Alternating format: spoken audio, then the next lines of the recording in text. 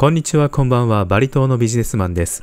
今回は、グランド日光東京台場に7日間宿泊した際、最上階のレストラン、ザ・グリル・オン・サーティーズで毎日朝食ビュッフェを食べたので、その様子や全メニューの中から食べて美味しかった順に勝手にランキングもつけたので、よかったらご覧ください。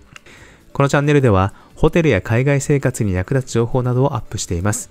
もしまだチャンネル登録されていない方は、チャンネル登録もよろしくお願いします。まずは初日、朝7時にビュッフェ会場に行くと、すでに何組か並んでいました。順番が来たので、係の方が席に案内してくれます。こちらの朝食ビュッフェのシステムは、まずメインの食事を洋食か和食を選んで、それ以外のジュース、サラダ、ベーカリー、スープ、フルーツ、ヨーグルト、コーヒー、紅茶などは、おかわり自由のビュッフェスタイルとなります。では、メインの料理を選んだので、他の食事を取りに行きます。こちらはヨーグルトのコーナー。ソースを蜂蜜とパイナップルソースから選べます。こちらはパンのコーナー。上の段には食パンが3種類。下の段にはほうれん草のスコーン、かぼちゃロール、国産小麦のきび糖ロール。隣のスペースには上の段からクロワッサン、チョコシュネック、下の段は季節のフルーツのデニッシュ、カレーパイ、ソーセージデニッシュがあります。隣にはトースターが2台あるので、ここでパンを焼くことができます。そしてこちらはカレードリアとグラタンがあります。こちらは冷たい飲み物のコーナー。左からオレンジ、アップル、グレープフルーツ、野菜ジュース。そして隣のピッチャーに入っているのが生メロンジュース。横には東京牛乳、豆乳、その横には水と炭酸水もあります。そしてこちらにはコーンフレークやグラノーラもありました。こちらはサラダのコーナー。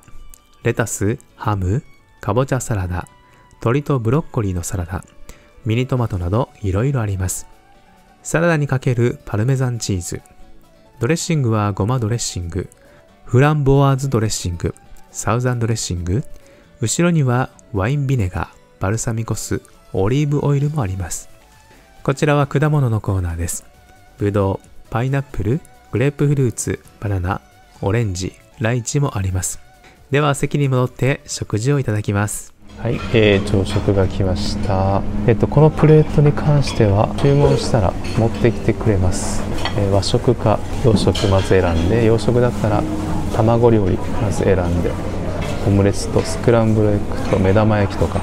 僕ちょっとオムレツにしましたそして、えー、とベーコンかソーセージか、えこれも選べます。僕はちょっと厚切りベーコンを選びました。そうするとこうして、ね、綺麗に盛り付けて持ってきてくれます。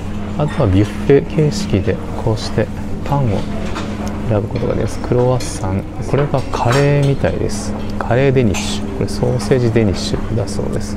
そしてこれは何かね天然酵母なんとかって感じですね。体に良さそうなパンなので1個持ってきました。でトースターで焼いて熱々で食べることができます。こちらサラダ。はいサラダも取り放題です。あスモークサーモンですね。スモークサーモンいっぱいありました、まあハム代わりに食べれますしかぼちゃのサラダですね。あとはもうすごいねソースもたくさんあって選びたい放題です。これもすごい美味しそうです。あとこれはねもうすごいすぐなくなっちゃいます。あの生メロンジュースです。これ出た瞬間もうすぐなくなるので本当取りに行かないと。みんな大人気でしたこれ、はい、あるうちに飲んどいた方がいいです。うん。もう美味しい。メロンをすりおろしてる感じですね。これは人気あるの分かりますね。ですきのこのポタージュ。すごいきのこの風味が。これすごい美味しいです。後でまたおかわりしたいと思います。温かいうちに食べていきたいと思います。ケチャップかけて。これがこのビュッフェが毎日ついてくるのはすごいお得ですね。これはすごいお得だ。長期滞在でねこんな食事ついてくることまずないですよね。朝食昼食兼用でもいいかもしれませんね。うん美味しい。中が半熟になっております。ベーコンもいただきたいと思います。7日間食べれるのでなるべく全種類試していきたいと思いますベーコンがすごいスモークされて美味しいです。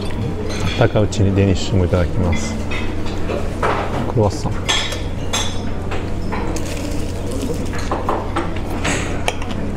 うんうまい。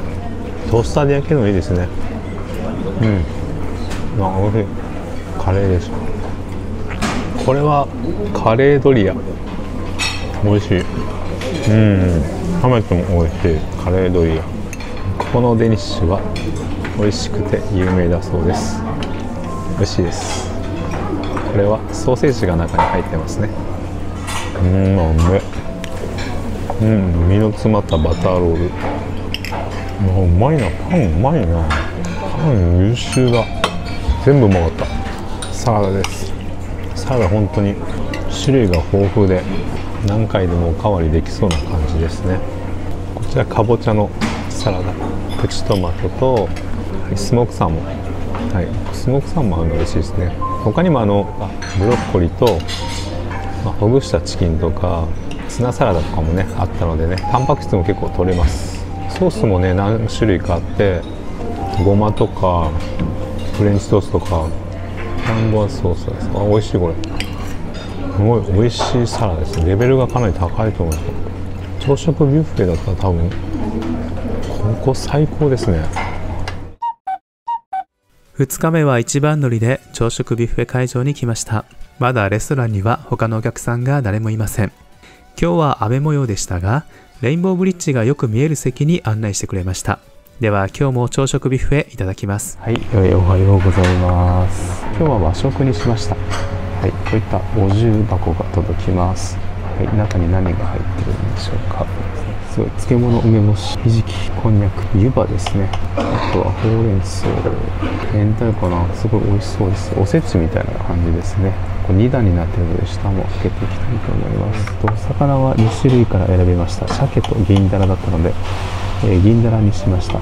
筑前にですね。きんぴらごぼうとさやえんどうとたけのこですね。あとご飯と海苔ですね。味噌汁もついています。もうこれだけでお腹いっぱいになりそうです。はい、じゃあいただいていきたいと思います。すごい豪勢な和食です。味噌汁あー味噌汁美味しい。じゃあメインの銀だらをいただいてみます。うまっ油がすごい乗ってる銀だらです美味しい。和食いいな。筑前煮うま。卵焼き。うん美味しいよいしょ。湯葉。湯葉に明太子のっけてみよう。うんとこんにゃくがねじれて合体してる。ま味がついてるんからし？あわさびだこれ。おおわさび漬けだ。ご飯と食べたかった。わさび漬け。うわツンとくるこのわさび漬け結構くるけど美味しい。うんうまいな。ほうれん草はごま油であえてるので。ちょっと中華風みたいな美味しい。うん。でも美味しい。これ本当冷えても美味しいね。カレードリア。角湯です何の野菜かわかん。ないでもまあ美味しいこのソースが美味しいです。デザートです。甘くて美味しい、コーヒーはい、えー、おはようございます、えー、3日目の朝食です、えー、昨日に引き続き今日も朝食和食にしました。はいちょっと開けて見てみたいと思います。昨日は銀だらだったんですけど今日は僕鮭にしました。はい和食本当美味しいです。はいこんな感じですね。これね美味しかったのはわさび漬けが最高に美味しいのとあと梅干しこの梅干しすごい食べやすいです。これね本当美味しいのでぜひおすすめです。はい、たくさん食べれる人はねこれも食べてパンも食べるといいんじゃないでしょうか。あと今日はねこれですね。日によってねこれ味が違います。生メロンジュース。今日すごい甘くて美味しいです。昨日はねちょっとね甘さが少し薄かったんですけど今日最高に甘いですね、サラダ。はい。初日はねもう分かんなくててんこ盛りで持ってきましたけどもだんだん3日目になって。自分の食べれる量が分かってこれぐらいちょうどいいですねサーモンとクルトンと蒸したチキンですねブロッコリー。そしてレタス。今日はねあのドレッシングオリーブオイルとバルサミコバルサミコ酢ですねかけてきました。あとはですね食後にこちらヨーグルトパイナップルソース。あとはこれ。これほんと美味しいですね。毎日のやつきのこのスープ。これすごい美味しいです。いやほんとうまいなこれ。いろんなきのこを細かくしてうまみ出してポタージュ状にしたようなもんですね。もう味噌汁も美味しい。ここのレストラン美味しいな。卵焼き卵焼き。ごま豆腐こんにゃく。もうねじれこんにゃく。ですね。糸こんが合体してますこれわさび漬け。これ最高にうまいですよ。本当うまいこれ。今まで食ったわさび漬けの中でナンバーワン。うわうめえもっと欲しいよね。これマジでうまい。湯葉。うわ美味しい。明太子美味しそう。うん。あうまい。大根おろしにじゃこが入ってます。しらすが入ってます。うん。ご飯2杯ぐらいあってもいいかな、この日はとてもお天気が良くてレインボーブリッジがとても綺麗に見えました。こうして素晴らしい景色を見ながら美味しい食事ができるのは本当に気持ちがいいですよね。もしこちらのビュッフェに行かれるならちょっと早起きしてレインボーブリッジが見える席を選ぶのをお勧めします。はい、えーおはようございます、えー今日は朝食4回目の朝食ですね。4回目の朝食ビュッフェ。今日は洋食を選びました。初日からですね初日は洋食。2日目は和食。3日目は和食。そして今日はまた洋食です。今日選んだのはですねスクランブルエッグ。そしてソーセージですね。すごい太いソーセージです、はい、あとケチャップと芽キャベツ。そして、えー、とじゃがいも。の焼いたのですねついてきてますね。あとはこれラタトゥイユかな。ちょっとトマトで似たような野菜がついてます。でそれに合う今度はパンですね。パンは自分で選べるので持ってきました。デニッシュ本当にここ美味しいです。あの他のお客さんもここのパンどこで買えますかって言ってるお客さんいたぐらい本当にこのパン美味しいのでぜひおすすめです。和食の時もね本当食パン。あこのデニッシュはちょっと食べたい感じですね。あときのこスープ。はいこれは毎日飲んでますけど全然美味しいです。飽きません。じゃあいただいていきます。今日はソーセージがすごいごっついソーセージがついてきました。ポークソーセージみたいです。食べてみたいと思います。うん美味しい。あーすごい。ソーセージ美味しいですね。スクランブルエッグもいただいていきます。スクランブルエッグもいいですね。他にもフレンチトーストと目玉焼きがあったのでまた後で他の日にそれ頼んでみたいと思います。本当にあのここの朝食ビュッフェ美味しいんですよ。今回7日間のプランで7日間全部朝食付きなんですけども本当に毎日楽しみでしょうがないですね朝食が。和食も本当美味しいんですよね。生メロンジュースです。これ本当美味しいですね。1日だけねちょっとねあの甘みがというか少ない日があってその1日が本当甘くて。美味しくてすごい人気があってねあのピッチャー1個だけなのでもうすぐなくなっちゃうんですよね。出てくるとみんな争奪戦みたいになっちゃうので早めにこれ取った方がいいと思います。1杯は。本当に甘いメロンをミキサーかけたそのまま出した感じですね。贅沢です。はい残りはパンとサラダです。本当にあのパンだけで食べても十分美味しいですこれ。1日目はね本当食べる加減が分かんなくてもういっぱい取りすぎてもう部屋に帰ったらもう2人ともバタン9で寝ちゃいましたね。お腹はち切れそうになりました。だんだん食べる量が分かってきました。あこれ以上スコーンです。うん美味しい。これうんうん美味しい。これはソーセージが入ってますね。ソーセージのデニッシュ。デニッシュ系はね本当にね柔らかくて美味しいですね今までロングステイプランで朝食がついてる中で多分一番ですね。まあ本当に。帝国ホテルも簡単簡単なパン3つだけだったりとか京王プラザホテルで有料でチケットかなんかもらって朝食食べたのがあったんですけどそれも食パン2枚とか本当なんかねあのおまけでついてくるような朝食ばっかりだったんですけどもここはもう本当一般の宿泊者と同じ扱いですね。しかもこういったビュッフェ豪勢なビュッフェかなり力入ったビュッフェ。30日来たらさすがに飽きるかもしれないけど7日間だったら全然飽きないですね。ヨーグルト。このソースがねあの美味しいんですよ。これ上かかってるのが。一応蜂蜜とパイナップルソース選べるんですけどもパイナップルソースが美味しいです。酸味があるので美味しいです。えー、っとおかわりでデニッシュ持ってきました。さっきなかったのでいちごのデニッシュですね。はいこれ昨日妻が食べて美味しいので試してみたいと思います。カスタードクリームがね下に入ってます。これが分かりかねここにカスタード。その上にいちごが乗っています。であれカレカレーパイですね。はい。これも結構美味しいんですよね。あとかぼちゃ。これ初めてなんです。ねサクサクなんですよパイ生地が。うん。おいしい。デザートみたいな感じ。いちごの酸味とカスタードの甘みとこのパイのサクサクが最高に合います。食後にコーヒーと飲むのでいいのかもしれませんね、まあ、妻が2個食べたいというのが分かりましたね。本当にこのホテルのデニッシュとパイ生地っていうのも最高にうまいですよね、まあ、たくさんバター使ってると思うんですけどもうサクサクです。はい、えー、和食が来ました。今日もお昼です。はい。今日は3回目の和食。3回目の和食です。はい。はい。こんな感じです。はい。あわさび漬けが今日はない。いやわさび漬けがないんだ。わさび漬け楽しみにしてますけどね。はい。今日は銀だらにしました。銀だら2回目です。はい。今日もお腹空かせてきたのでこの後余裕があったらデニッシュコーヒーといただきたいと思います。ヨーグルトこれも美味しいですね、えー、サラダなんですけども、えー、今日初めてあのごぼうサラダが現れました、はい、じゃあ今日もいただきます。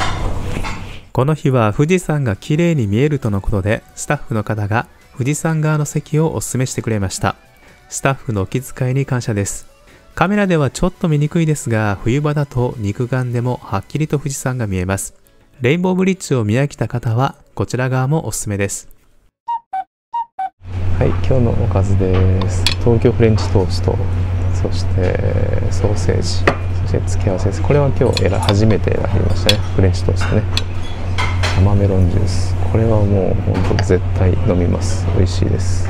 食後にヨーグルト。パイナップルソース。これ食前にですねきのこスープですね。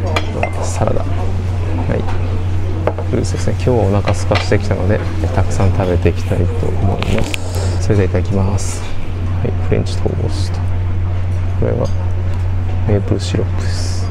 まあおいしいこれ頼むと卵料理がついてきません。なんならこれ卵がすごいしみしみだからです。しみしみです。美味しい。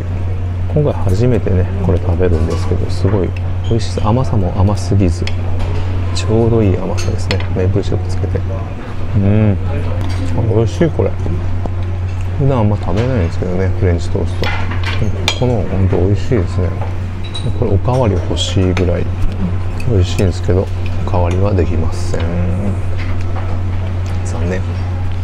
本当染みて美味しいですね。今日の席から見えるレインボーブリッジです。今日は結構曇ってますね。ちょっと雨も降ってるみたいです。これ最後デザートですね。そして今日ですね。洋梨デニッシュ昨日までいちごだったんですけどね。下にあのカスタードクリームがあって本当美味しいです。パイ生地が本当サクサクでこのパイ生地は本当大好きなのでこのデニッシュとカレーパイかな。あとこれクロワッサンも本当サクサクなんですね。はい。あとはこれはほうれん草ですね。これもスコーン美味しいんでね。一つずつ好きなのを選んできました。じゃあこれからいただきたいと思います。洋梨いってみよううん。うん。うん。おいしい。安定の美味しさですね。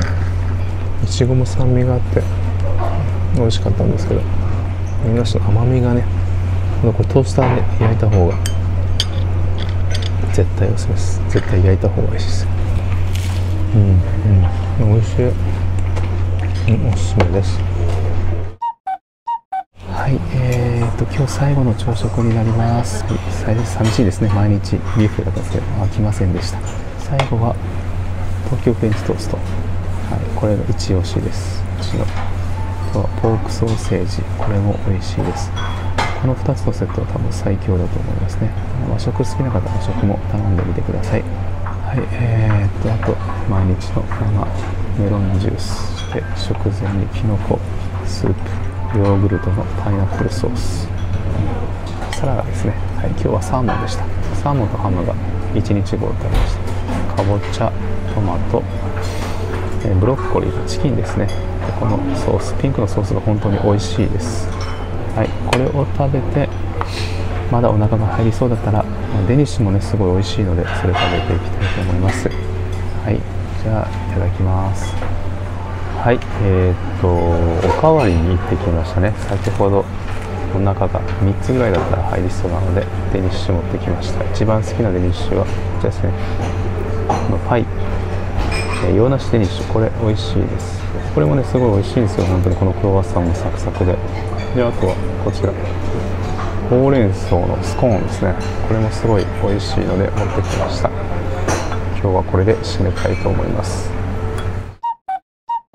最後に美味しかった順ランキングを発表します。まずはメイン料理第3位は和食の鮭御膳ここの和食はおせち料理のような二段重ねの御膳で持ってきてくれてお味もとても美味しいのでおすすめです。小食の方、年配の方であれば、これだけで満足できると思います。第2位は、和食の銀だら御膳。和食の中でも、この銀だらの油の乗り具合は最高でした。また、わさび漬けもこれまで食べた中で最高のお味でした。ご飯が一杯では足りないほど、ここの和食は本当に美味しいです。第1位は、東京フレンチトーストとソーセージ。僕はそんなにフレンチトーストは好んで食べる方ではなかったんですが、ここのフレンチトーストは甘さもちょうど良くて、味も生地にしっかり染み込んでいて最高でした。初めてフレンチトーストが美味しいと思いました。またポークソーセージもボリュームがあって、豚の旨味も凝縮されていて美味しかったです。今度はパンデニッシュ部門。第3位はほうれん草のスコーン。最初は緑色のスコーンなので手に取らなかったんですが、妻に勧められて食べたら結構美味しくてハマりました。第2位はカレーパイ。とにかくここのレストランのパイ生地がサクサクでとても美味しいです。大きさもちょうど良くてカレーの味とパイ生地が絶妙に美味しかったです。そして第1位は季節のフルーツのデニッシュ。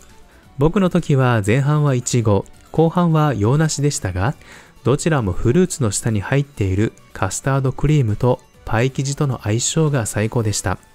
特にこれをデザート代わりにコーヒーを飲むと大変美味しかったです。最後はその他のおすすめ部門。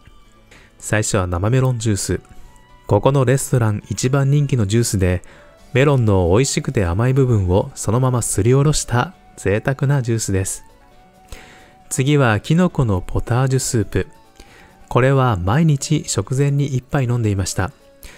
とてもキノコの旨味が凝縮された美味しくて優しいスープなので、ぜひお試しください。ランキングは以上です。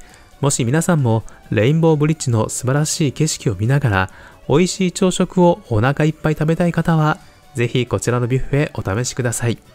今後グランド日光東京台場に7日間宿泊した動画もアップする予定ですので、よかったら時々このチャンネルを覗きに来てくださいね。この動画が美味しい朝食ビュッフェを探している方の参考になれば幸いです。